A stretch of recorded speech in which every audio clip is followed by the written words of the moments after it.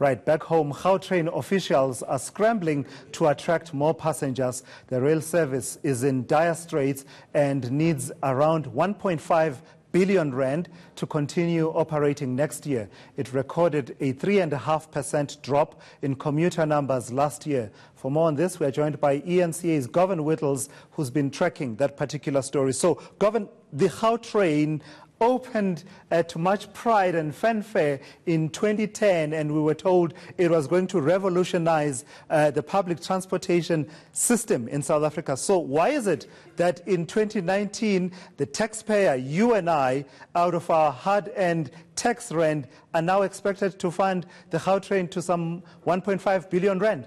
Well, it's essentially because the, the days of the Gautrain uh, performing a double digit growth are over. And right now, the Gautrain uh, needs 1.5 billion rand uh, just to make sure that it can cover its costs in the next financial year. And the issue here is, is not really that it needs this money, but that that figure has increased from around 821 million rand in 2013 to this 1.5 billion rand that's required uh, in the 2017-2018 financial year. And the reason for this um, is because you've mentioned, as you've mentioned, the passenger numbers on the rail service uh, is declining. And this is due to a number of reasons, uh, the Gautrain official says, uh, but it's also because um, they say that they found that the commuters are not willing to tolerate the congestion at the Gautrain stations in the morning, particularly during the peak time uh, when often when they arrive at the station they risk being left on the platform because there's simply too many people in the train. But to put it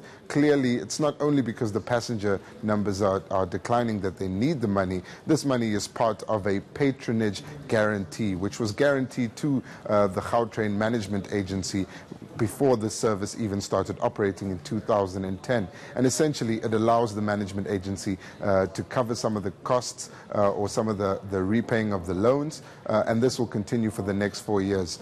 After that, in around 2023, we'll have a Gautrain which is uh, cheaper to run, but also one that's uh, able to run without having to pay uh, the concession company, the Bombela concession company, obviously from Austria, every month. So right now, the taxpayers are paying about 100 million rand a month, um, but that has been agreed to by the Gauteng government. And the Gautrain Management Agency says that figure will continue to increase with consumer price index uh, every single uh, month and year. But I did speak to the CEO of the Gautrain Management Agency, Mr. Jack van der Merwe, to find out from him exactly why passenger numbers have dropped beyond uh, the congestion in the morning. Let's have a look at what he said. If you go, you leave your car at home and you use the Gautrain, um, the fact that you you uh, crush loaded and you decide, man, it's too much effort, I'm going back to my car. You don't write me a letter and say, look, I'm gone. You know, the numbers just go down. Or you don't give a reason for it. So, so that's the one reason is the capacity. The second reason is this ongoing conflict between meter taxis and e-hailing. So if you, and especially the airport passengers, if you arrive at Sandton, there's a whole big fight around who takes your bags and all the violence goes in there. The third one is, is the question of the of the toll roads. What we've done in our province, we've through the Gauteng Freeway Improvement Plan, we've created new capacity on the freeway system. But that was always going to be a capacity at a cost. You know the the, the whole saga around the e-tolls, and currently there's a there's a major uh, movement of not paying e-tolls. So what should have been a cost to, to the motorist is now not a cost to the motorist. Okay, so then, sorry, sorry, and then the fourth one is the downturn in the economy. We have a we have a slowing down of the economy. We're growing at 0.5, 0.7 percent. Um, GDP growth per year. And if the economy doesn't grow, the demand for movement of people, goods, and services goes down.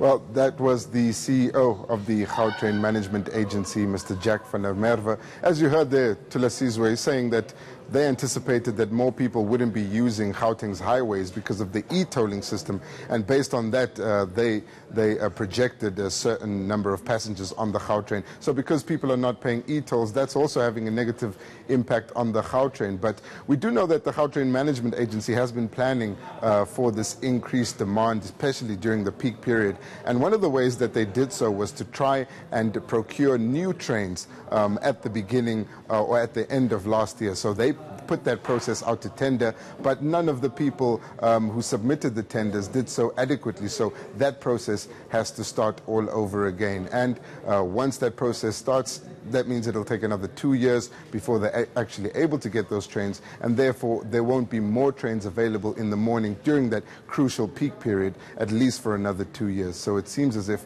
the reliance on the government will continue, at least for now. Mm.